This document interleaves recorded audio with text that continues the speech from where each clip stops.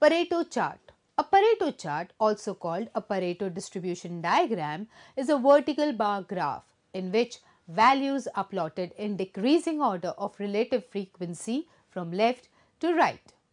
Pareto charts are extremely useful for analyzing what problems need attention first because the taller bars on the chart which represent frequency clearly illustrate which variables have the greatest cumulative effect on a given system. The Pareto chart provides a graphic depiction of the Pareto principle, a theory maintaining that 80% of the output in a given situation or system is produced by 20% of the input.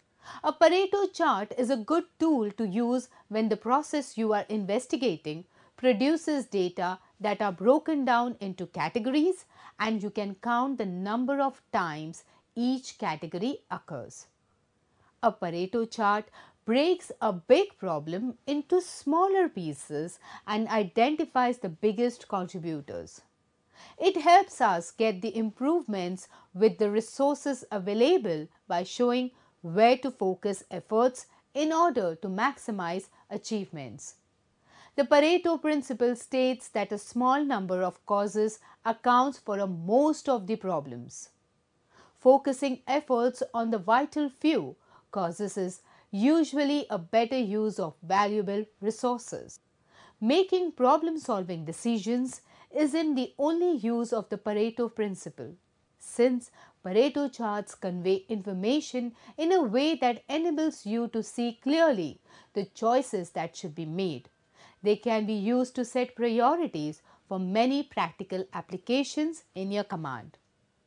Let us take an example. In order to illustrate the operation mode of the Pareto diagram, we will use an example of errors during surgical setup. In Yashoda Hospital, the hospital team used Pareto analysis to identify the vital few factors that contributed to errors during surgical setup. The team identified eight types of surgical setup errors and collected data on the frequency of each type. When the team displayed this data in a Pareto diagram, they discovered that three types of errors accounted for 80% of all errors. Instead of working on all error types, the team focused its efforts on these three vital few error types. A flowchart is a picture of the separate steps of a process in a sequential order. Flowcharts use simple geometric symbols and arrows to define relationships. Following is the example showing flowchart for storing blood in a blood bank. Following is the example showing flowchart for PDCA.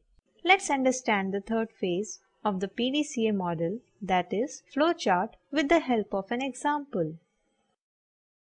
Patient feedback can provide compelling opportunities for developing risk management and quality improvement strategies, as well as improving customer satisfaction. So the hospital management took a step forward to standardize workflows for managing complaints and grievances.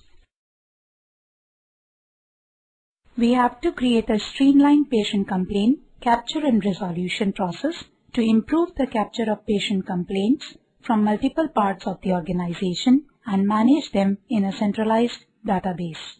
Ma'am, I have prepared the flowchart that will include receiving complaint, frontline resolutions of straightforward issues and investigation of complex complaints by senior management in a stepwise manner. We also need to have a data management system for tracking patient complaints and generating reports. We should implement best practices, changes which should include leadership engagement, increased capture of complaints, centralized data and reporting, improved average response times to patient grievances and complaints, and improved service recovery. Okay, ma'am.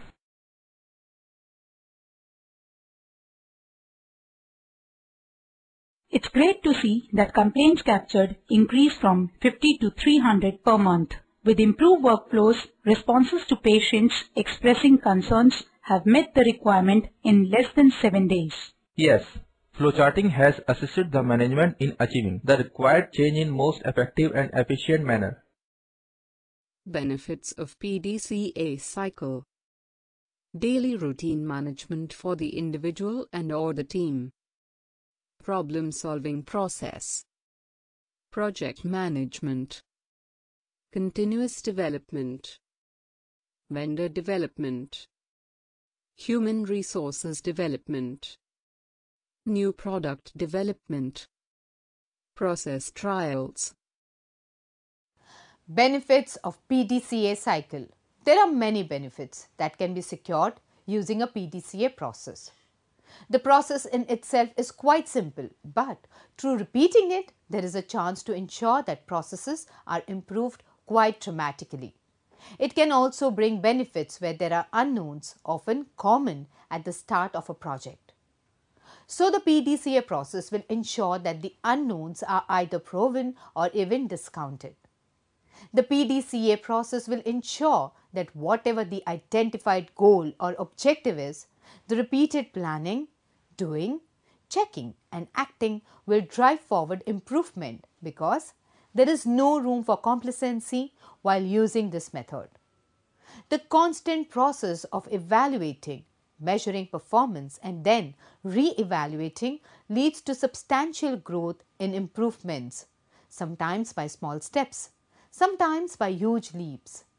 The advantages of PDCA are it is simple that means it is easy to use.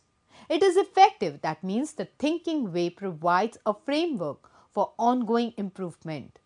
It is comprehensive as it links all the necessary stages together in a simple process. It is flexible as it is easily adapted to a multitude of circumstances. It is engaging by its nature as it fosters and produces teamwork. It is inexpensive as it is a team focused exercise, so there are no additional costs. Another advantage of PDCA thinking is the amount of learning that takes place about the process during each cycle. Because solutions thinking deploys fewer improvement cycles and focuses attention specifically on the problem at hand, less learning takes place about the overall process. The increased learning resulting from deploying PDCA throughout the organization further adds to the overall pace of improvement cycles. Those who fail to recognize the true significance of PDCA often require a good deal of coaching, reflection and experience with the cycle to truly understand why it is different and how it can benefit the organization. Without a certain level of transformation toward PDCA, however, the implementation of improvement methods like lean thinking or Six Sigma will be difficult if not impossible. Summary Tools are generally a means of accomplishing change. The seven quality tools were first emphasized by Ishikawa in the 1960s, who is one of the quality management gurus. Continuous improvement could not be realized without quality tools, which are presented through four group of activities of Deming's quality cycle or PDCA cycle. Tools and techniques which can be used to complete each stage of the PDCA cycle. Plan for changes to bring about improvement. Do changes on a small scale first to trial them. Act to get the greatest benefit from changes. Check to see if changes are working and to investigate selected processes. PDCA offers a data-based framework based on the scientific method. The PDCA cycle is used to coordinate continuous improvement efforts. PDCA is a continuous and ongoing effort to achieve measurable improvements. PDCA is effective for exploring a range of possible new solutions to problems and trying them out, and improving them in a controlled way.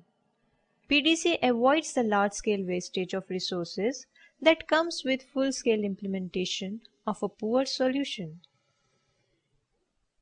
Once the basic problem solving or quality improvement process is understood, the addition of quality tools can make the process proceed more quickly and systematically According to Ishikawa, 95% of quality related problems can be resolved with these basic tools. Cause and effect diagram. This is also referred as Ishikawa diagram or fishbone diagram. The diagram identifies many possible causes for an effect or problem. The common categories in a fishbone diagram are the M's, the P's, the S. Following is the example of Ishikawa diagram or fishbone diagram. Non-productive time in OT. Pareto chart is used to identify the vital few problems or causes of problems that have the greatest impact. This is also known as 80 by 20 rule. The Pareto chart is a bar chart named after Italian economist Vilfredo Pareto. The lengths of the bars represent frequency or cost or time or money and are arranged with longest bars on the left and the shortest to the right. In this way, the chart visually depicts which situations are more significant. Following is the example of Pareto chart showing causes for medication not delivered on time. A flowchart is a picture of the separate steps of a process in a sequential order. Flowcharts use simple geometric symbols and arrows to define relationships. Following is the example showing flowchart for storing blood in a blood bank. Following is the example showing flowchart for PDCA. Benefits of PDCA cycle. Daily routine management for the individuals and or team. Problem solving process. Project management. Continuous development. Vendor development. Human resource development. New product development. And process trials.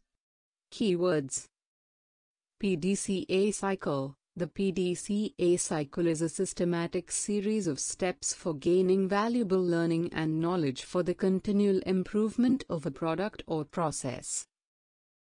Ishikawa diagrams Ishikawa diagrams also called fishbone diagrams are causal diagrams created by Kaoru Ishikawa that show the causes of a specific event. Pareto chart A Pareto chart also called a Pareto distribution diagram, is a vertical bar graph in which values are plotted in decreasing order of relative frequency from left to right. Further readings